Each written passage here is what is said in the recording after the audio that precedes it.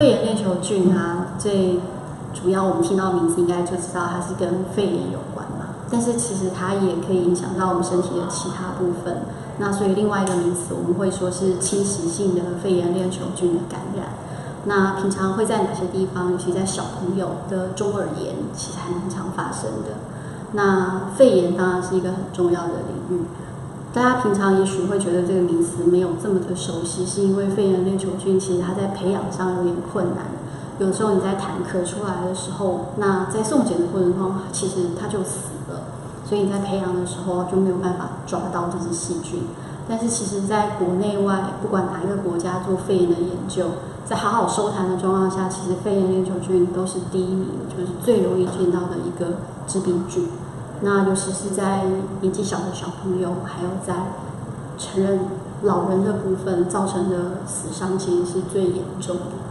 所以这也是为什么我们每年到了秋冬的时候，就会趁着大家要打流感疫苗的时候，一起询问我们的病友是不是要连啊肺炎链球菌的疫苗可以一起做注射。其实肺炎链球菌疫苗的施打其实是没有季节限制的，只要当时没有发烧、没有感冒或是其他一些严重的疾病，那就可以来打肺炎链球菌的疫苗。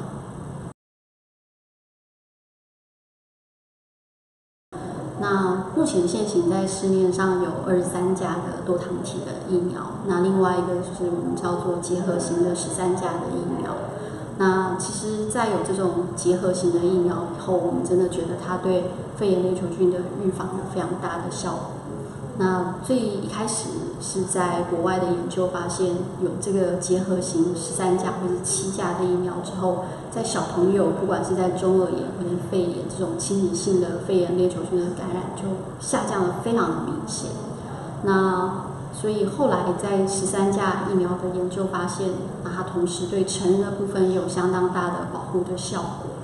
所以在目前的学会或者是在美国的治疗建议里面，都会把十三价疫苗放在前面。那不过从名字也可以听得出来，就是十三价针对了十三种非常常见的肺炎链球菌的菌种做了预防。那二十三价当然数字多了一些，它还涵盖了一些其他十三价可能没有办法涵盖到的菌种。所以在六十五岁的长者的部分，我们会建议先打十三价结合型的肺炎链球菌的疫苗，之后隔了一年，我们就可以再打公费的二十三价的疫苗，让我们免疫的持续力能够维持的更久，那涵盖的菌株也可以更广泛。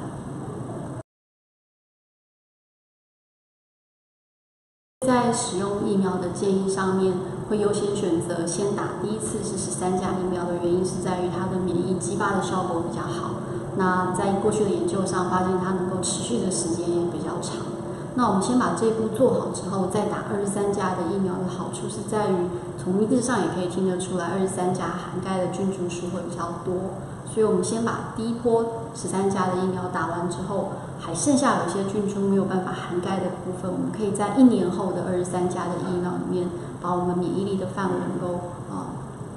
涵盖的更广泛。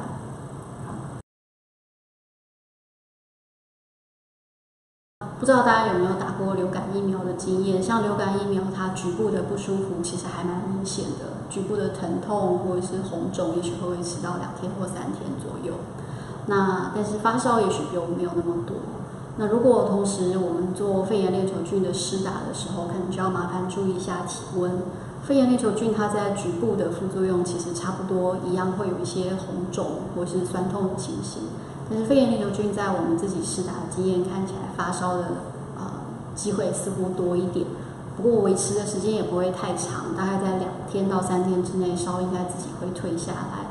所以，呃，这个就请大家在家里的时候可能要观察一下。如果发烧的时间真的太长，会超过三天以上，那可能还是要再跟你的医师讨论。